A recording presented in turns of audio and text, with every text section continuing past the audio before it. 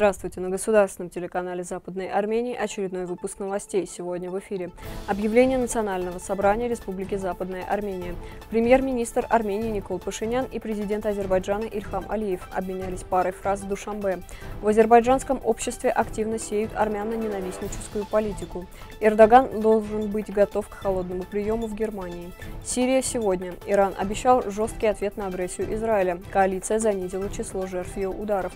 США останутся в Сирии, пока Иран сохраняет там свое присутствие. В Мараше продается старый армянский дом.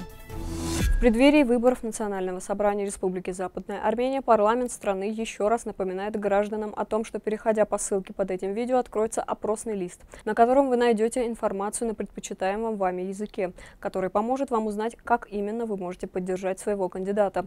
На опросном листе вы должны написать на первой строчке имя и фамилию вашего кандидата. Далее заполните свои личные данные, чтобы стать гражданином Республики Западная Армения.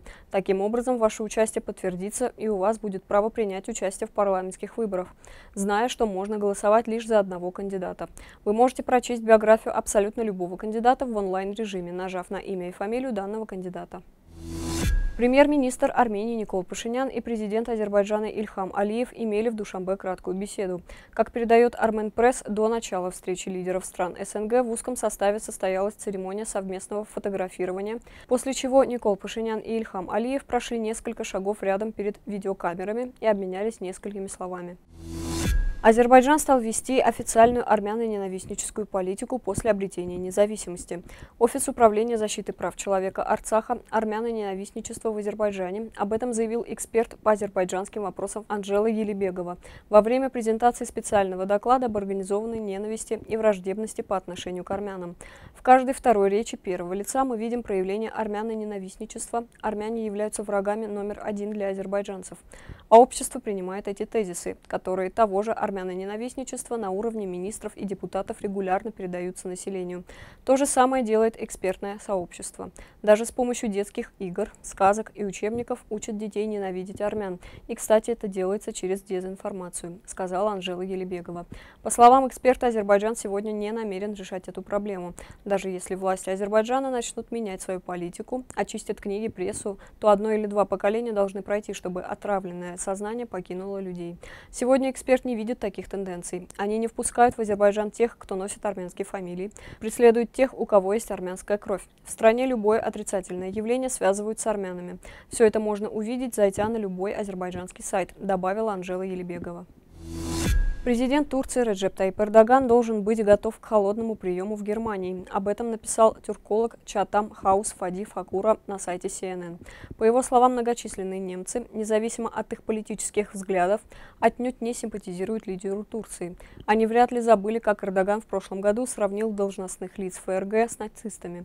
Не забудут они и его призывы к трех миллионам туркам, проживающим в Германии, не приспосабливаться к немецкому образу жизни. Эксперт также подчеркнул, что жители Германии Германии обвиняют Эрдогана и в том, что тот в свое время не предпринял никаких мер для того, чтобы в 2015 году остановить большой поток беженцев из Сирии. Греческая пресса сообщила о том, что в 2015 году он пригрозил заполонить Европу беженцами, если ему не помогут в решении кризиса, связанного с ними.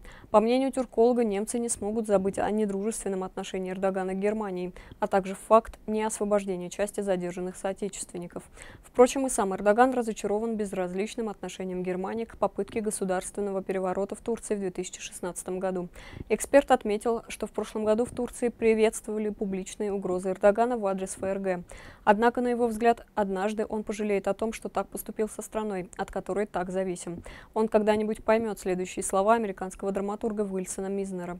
«По дороге на вершину относитесь к людям хорошо. Вы их еще увидите, когда спуститесь вниз. Но уже будет поздно», — отметил тюрколог. Иран пообещал Израилю суровый ответ на агрессию в Сирии. Высший совет безопасности Ирана пообещал Тель-Авиву реакцию, которая заставит пожалеть, если Израиль продолжит агрессию в отношении сирийских правительственных войск. Израиль стремится к укоренению кризиса в Сирии, предпринимая шаги по оказанию прямой поддержки террористических группировок и нанося удары по сирийской армии и силам, ведущим борьбу с боевиками.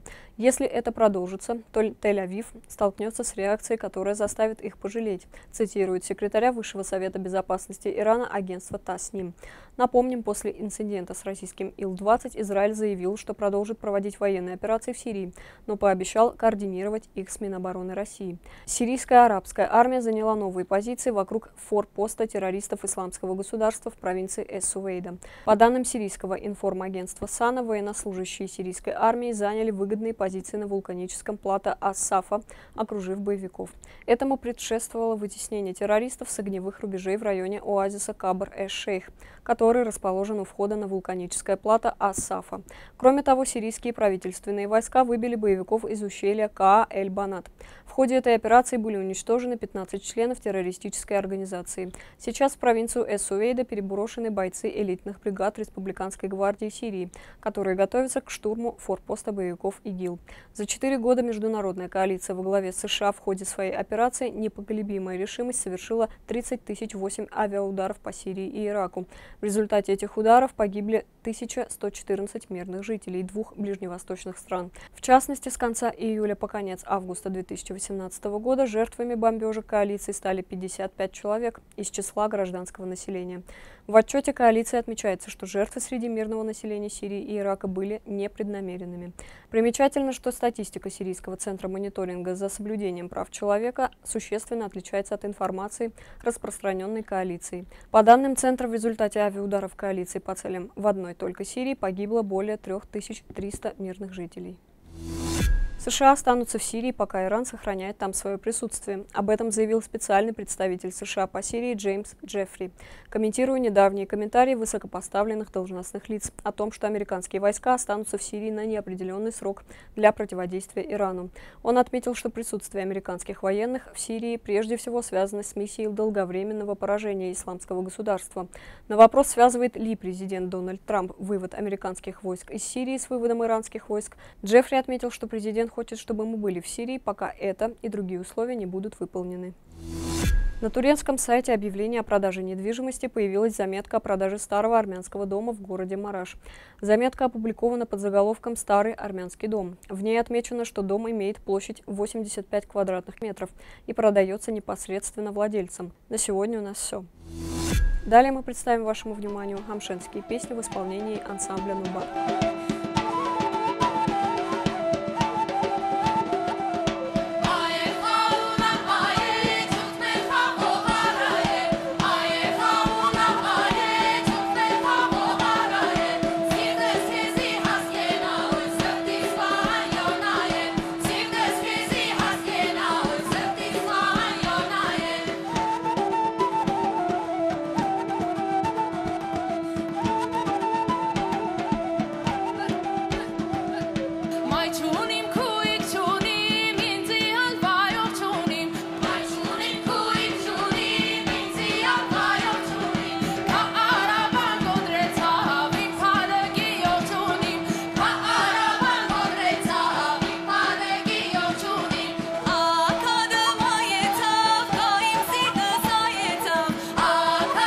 Полная версия. Видео представлена на официальном сайте телеканала Западной Армении. Оставайтесь с миром.